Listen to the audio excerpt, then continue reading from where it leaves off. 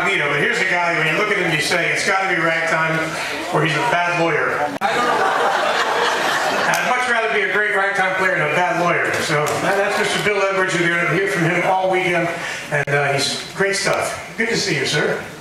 Yes, indeed. How long been? Five weeks? Well, yeah, but but uh, but over five, over fifty thousand miles. So it's you know, it's never the time; it's how far you go to get where you are. All right. Here's a little tune that was written in 1903 by a guy named Joe Jordan. Now he uh, was actually special in many ways. He was a contemporary of Eubie Blake's. Many of his rags were very theatrical. And he also had the distinction, connecting with the original Dixieland Jazz Band, of suing them because they stole one of his themes from a rag called That Teasin' Rag.